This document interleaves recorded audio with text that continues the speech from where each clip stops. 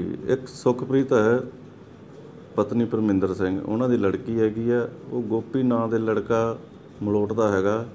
ਉਹਦੇ ਨਾਲ ਉਹ ਚਲੀ ਗਈ ਹੈ ਜਿਸ ਦੇ ਖਿਲਾਫ ਅਸੀਂ ਮੁਕੱਦਮਾ ਦਰਜ ਕਰ ਲਿਆ 363 ਦਾ ਤੇ ਅੱਗੇ ਤਫਤੀਸ਼ ਜਾਰੀ ਹੈ। ਸਰ ਮਿਤੀ ਇੱਕ ਦੱਸਿਆ ਜਾ ਰਿਹਾ ਕਿ ਲੜਕੀ ਨਾਬਾਲਿਗ ਹੈ ਜੀ। ਇਸ ਸੰਬੰਧੀ ਪੁਲਿਸ ਕੋਲ ਕੀ ਜਾਣਕਾਰੀ ਹੈ ਜੀ?